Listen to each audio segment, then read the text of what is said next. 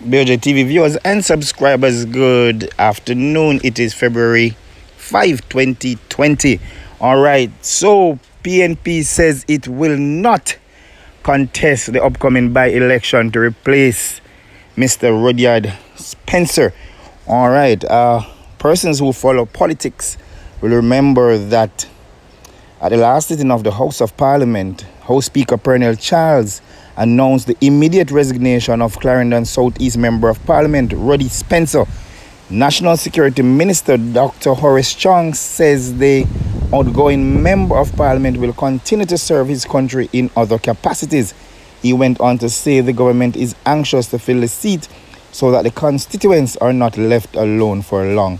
Spencer became the Clarendon Southeast Member of Parliament in 2002 and won the seat for the Jamaica Labour Party in all subsequent general elections. Before he became an MP, he was an opposition senator.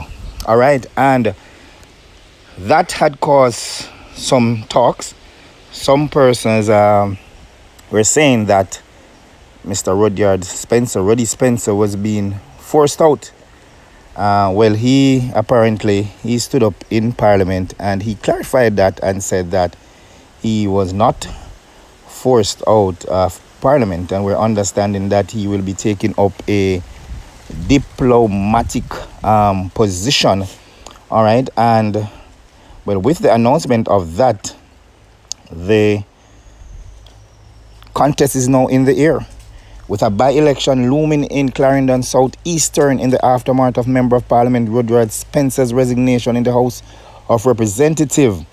People's National Party standard bearer Patricia Duncan Sutherland is declaring that she is ready to face the voters of the constituency, but it is unclear whether she will skip the by election as a strategic move to save her arsenal for the general election, which is constitutionally due by 2021.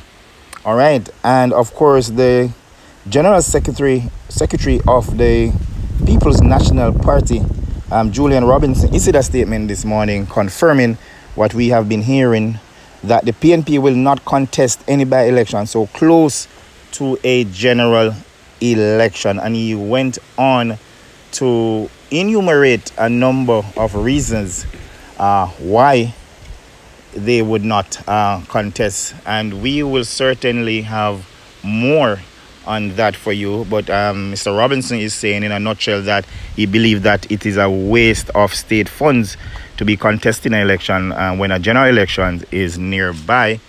All right, and of course, that is sending a number of debate persons in the political circles. They are talking whether or not the PNP is afraid to face the the JLP. Some persons are agreeing with the PNP, saying that they agree that it will be a waste. Some are not.